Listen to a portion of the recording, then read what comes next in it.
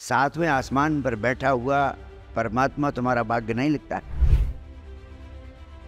हर आदमी का inner software विचारों के रूप में अलग अलग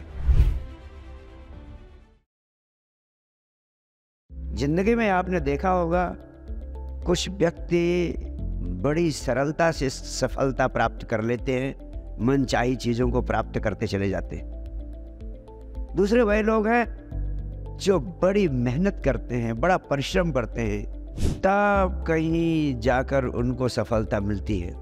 तीसरे लोग, जिनमें 90 प्रतिशत से भी अधिक लोग शामिल हैं, ऐसे लोग हैं जो बड़ा परिश्रम करते हैं, बड़ी मेहनत करते हैं, इसके बावजूद भी ज़िंदगी में असफल रह जाते हैं। इन तीनों प्रकार के व्यक्तियों में मुख्य फ़र्क क्या? इसका उत्तर देने के लिए आपको एक बगीचे में ले चलता उस बगीचे में तरह तरह के फूल खिले। कोई रजनीगंधा का, कोई गुलाब का, कोई जूही तो कोई चमेली का फूल, कोई छोटा, कोई बड़ा, कोई इस रंग का, कोई उस रंग का, कोई इस सुगंध का, कोई उस सुगंध का। जबकि मिट्टी सबकी एक है। सारे पौधों को एक ही प्रकार का पानी दिया जाता है। एक ही प्रकार की खाद दी जाती है। उनके ऊपर की हवाएँ भी एक सी है और उनके ऊपर का आसमान उनके ऊपर का सूरज भी एक ही है और उनकी सेवा करने वाला माली भी एक ही सब कुछ एक होते हुए भी इतना बड़ा अंतर क्यों? कभी सोचा? अंतर सिर्फ़ एक कारण से है। सभी फूलों का इनर सॉफ्टवेयर बीज के रूप में अलग अलग है। ठीक यही कारण है, हर आदमी का इनर सॉफ्टवेयर विचारों के रूप में अलग अलग है। विचार ही मनुष्य रूपी वृक्ष का इनर सॉफ्टवेयर है। विचार ही बीज है। विचार का बीज ही मनुष्य के भीतर विराट वृक्ष के रूप में विकसित होता है। विचार मनुष्य की सबसे अद्भुत शक्ति है।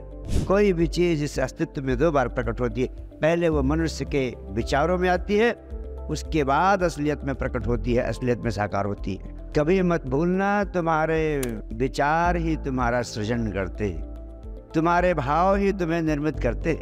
सातवें आसमान पर बैठा हुआ परमात्मा तुम्हारा भाग्य नहीं लिखता।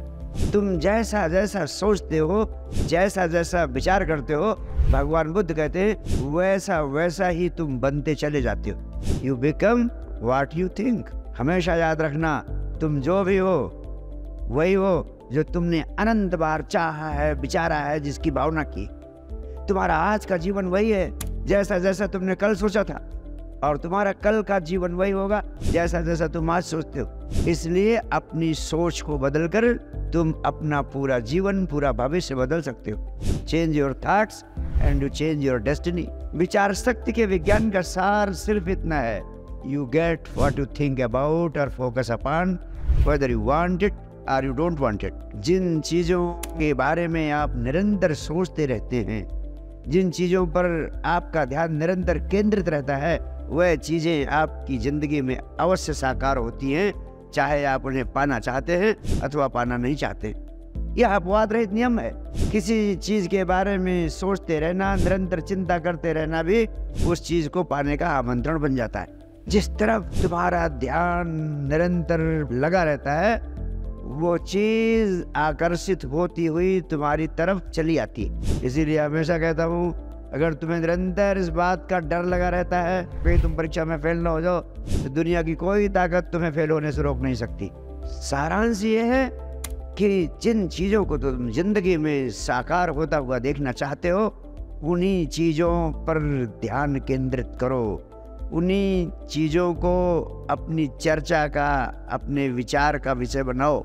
जिन चीज़ों से बचना चाहते हो, उनका स्मरण भी न करो, उनकी चिंतना भी न करो, उनकी सोच भी न करो, उनका विचार भी न करो। अधिकांश लोग इस पृथ्वी पर ऐसे हैं, जो उन्हीं चीज़ों की चिंता करते रहते हैं, उन्हीं चीज़ों के बारे में सोचते रहते हैं, जिन्हें वे पाना नहीं चाहते।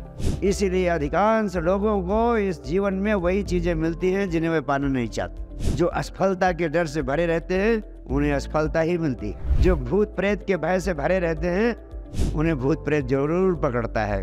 वो कहीं ना कहीं से ज़रूर खोज लेता है ऐसे व्यक्ति को और ऐसे व्यक्ति के पास पहुँच ही जाता। इसीलिए मैं कहता हूँ, विचार शक्ति के विज्ञान का महत्वपूर्ण आयाम है थिंक बिग, ड्रीम बिग। क्योंकि जिन चीज़ों पर आपका विचार केंद्रित होगा, वही चीज़ें आपकी ज़िंदगी में आएँगी, दूसरी चीज़ें नहीं आएँगी। इनर सॉफ्टवेयर जिस चीज़ से जुड़ा है। विचार जिन जिन चीज़ों के भरे आपको तमाम सारी चीज़ें ज़िंदगी में सिर्फ़ इसलिए नहीं मिलती कि उन चीज़ों का आप विचार कभी करते ही नहीं, उन चीज़ों की सोच करते ही नहीं, उन चीज़ों की खोज, उन चीज़ों की तलाश कभी करते ही नहीं। कितना भी बड़ा हो सपना, कितनी भी बड़ी हो आकांक्षा जब वो आकांक्षा वो सपना आप देखने लगते हैं तो उसको पूरा करने के लिए आपके भीतर जो शक्तियाँ छिपी हैं, वह जागती।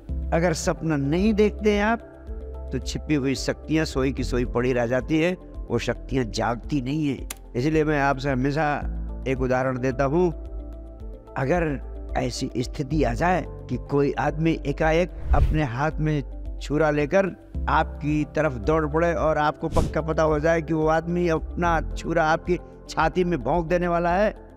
ऐसी परिस्थिति में जब आप भागेंगे तो वैज्ञानिक परीक्षणों में पाया गया है कि ऐसी परिस्थिति में भागने वाले की स्पीड ओलंपिक के गोल्ड मेडल विजेता की स्पीड से ज़्यादा तेज हो जाती है। एक नहीं हज़ारों परीक्षणों में पाया गया है। ये शक्ति कहाँ से आ जाती है? आसमान से? नहीं, शक्ति तो आपके भीतर ही छिपी हुई थी, सिर्फ़ सोई हुई थी। जब चुनौती आई, जब लक्ष्य सामने आया जीवन को बचाने का, तब वो शक्ति जागती है और आपकी स्पीड, सामान्य स्पीड से कई गुना ज़्यादा बढ़ जाती।